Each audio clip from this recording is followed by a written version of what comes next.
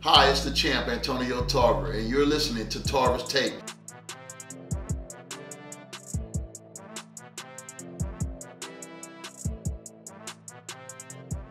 It's the recap of the big fight this weekend on ESPN, Top Rank.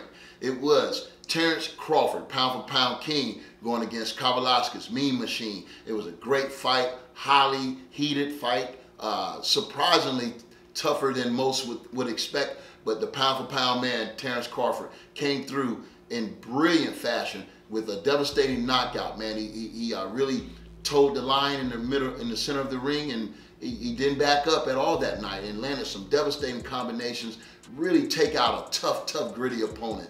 And uh, defending his uh, welterweight championship. So uh, Terrence Bud Crawford moves on. In the uh, co-feature, man, it was a, a, great fight in the IBF lightweight championship. Richard Commey from Ghana uh, and Teofimo Lopez, man, from America, I mean, put on a great show. It didn't last long. I thought going in that this fight would be determined by both of these guys' chin.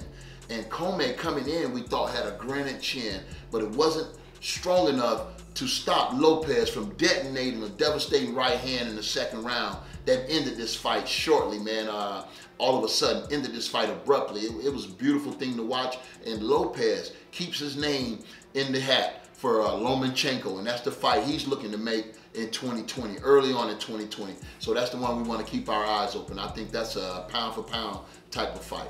And uh, in the opening card, uh, Michael Conlan for, uh, from UK defeated uh, unanimously a wide decision over Nikita, a guy that he had lost to in the Olympics. So, you know, he gets revenge on that. The only thing about this fight, I think Nikita needed a couple more fights. He only had six or seven fights when uh, Conlan had uh, almost 12, 13. He's 13 and 0 now and moving on. So that was a good fight. I'm glad he uh, settled the score there and got even with the guy that they claim robbed him in the Olympics. So there you have it, the recap of the big fight this weekend, top ranked uh, ESPN, uh, Terrence Crawford, pound for pound king, moving on.